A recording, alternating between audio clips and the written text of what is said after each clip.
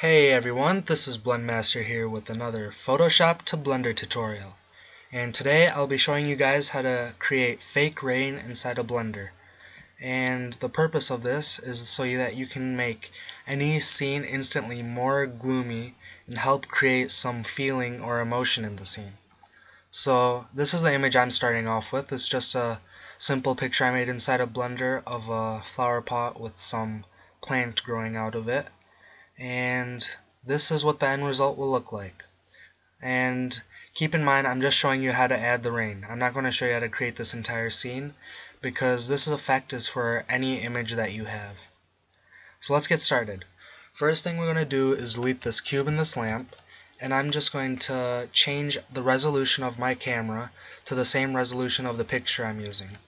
So that'll be 1080 by 1920 and now what I want to do is add a plane and give it a material and a cloud texture. I'll just name it clouds. And I'll show you what we're going to do with this later. So now let's just jump into our compositor, check use nodes and backdrop. I'm just going to delete this render layer node and bring in our image. Okay, plug that into the composite node bring up a viewer node.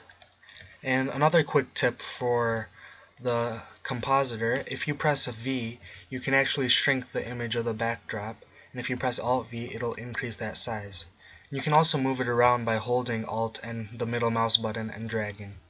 So I thought I'd just share that with you. I found that interesting and useful. So first thing we want to do is make our scene darker. And we'll be doing that by using a mix node and changing it from mix to multiply. And I'm going to change the value of this white color to 0.5 so that it's half as bright and instantly you can see it's starting to look a lot more gloomy and depressing it's creating that emotion. So now to create the rain I'm going to bring in our texture by pressing shift A input texture and then we'll select our cloud texture and if we view that, you can see it's just stretched along this camera, and it's simply the texture. And what I want to do is come down here to scale, and we're going to increase the scale to 30. And you can see that it's basically squishing it on the x-axis or y-axis and making the clouds a lot thinner. And we can make it even thinner by decreasing this y value to 0.5 and that just stretches it out. And this z value doesn't change anything because it's two-dimensional, so I'll just set that to 0.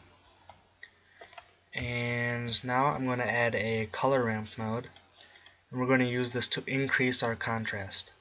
So if you just drag up this black slider, you can see that we're increasing our contrast, and the closer it is to white, the fewer streaks we have. So it's up to you, depending on how much rain you want in your scene.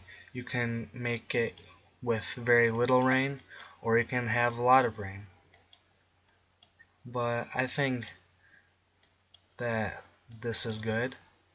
And then you can also bring in your white slider so that it'll be a lot brighter. And right in between here, I'm just going to add a rotate node and rotate this by negative 20 so that it looks like it's coming in from an angle. And what that does is it creates this black area in the corners.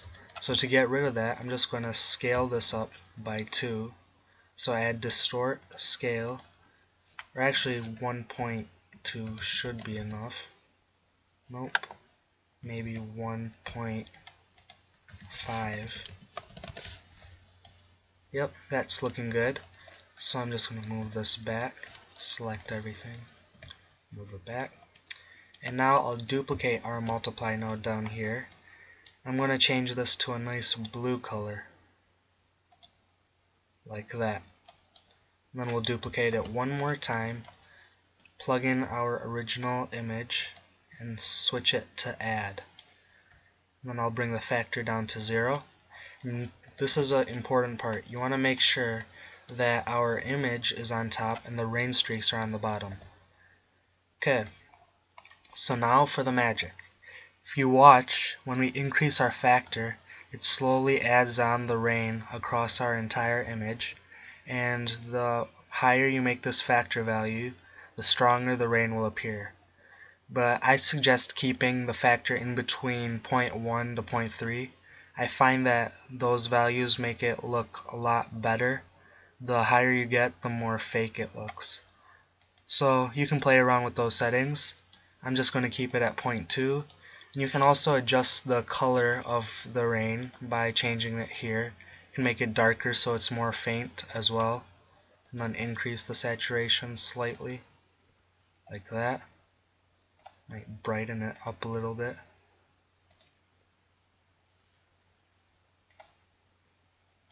Like that. And then you can also play around with the slider again to change how much rain there is or how little rain there is. So I think that's good. Now all we have to do is plug this into our composite node, go back, and render it out. And there you have it, fake rain inside a blender. It's really simple. So I hope you guys enjoyed this tutorial. Uh, please comment, subscribe, if you have any suggestions for future tutorials, feel free to leave them in the comments as well. Thanks for watching. Bye.